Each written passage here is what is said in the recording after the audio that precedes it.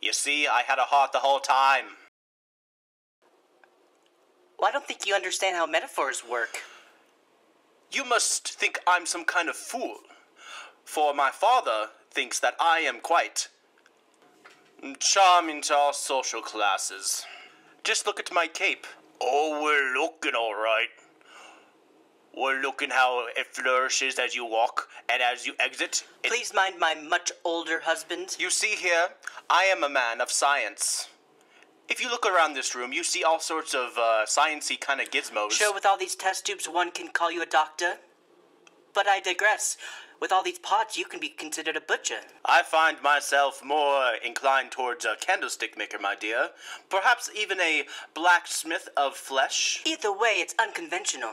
What is it actually you do with all these body parts? Well, then, uh, simply put, I uh, stick them together and see what works, what ticks, what all can be pushed together. Do you honestly expect us not to notice the dead body that's on the ground? Well, my expert blocking will take care of that. Well, maybe if I had a close up. See, I got a close up, and now I'm doing some real acting right now. Perhaps you would feel more comfortable if I left you to act by yourself. Or need other actors to bounce off of. What's wrong with you? I'm only trying to help, chap. What? What, what are you trying to say?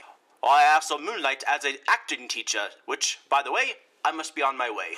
We're going to do King Lear for the millionth time again. Perhaps I could cop you some tickets. I would love that very much. Consider it done. Bring friends. I am a school teacher. Perhaps I could bring my class with me. Ah, wonderful. Wonderful. Hmm. Do you know what you've done? I know exactly what I'm doing. I just secured tickets to the hottest improv show in town. And you're coming with me, whether you like it or not. May God have mercy on us. There is no God in improv. Cause I got a golden ticket. Arthur Slugworth. Uh, Give me that ticket. It's- Uh, it's my golden I can give you wealth beyond wealth. I'm not giving you my golden ticket. Need to know the secret ingredient to the everlasting Gobstopper, damn it. Get back here. Grandpa, Grandpa, no. Golden ticket. Hmm, it's always nice to come to the countryside and see all sorts of uh, pots and pans, and at least there's some art here. Hmm. Living in squalor, I see. No room for a gimbal, or perhaps even a tripod for this room. See a nice swift pan across this room. You see a man who is clearly sleeping. Perhaps I can wake him up. Or perhaps I could mess with him while he's trying to sleep. I say, Wake up your butt, for I am here. Ah, see, you come decide here.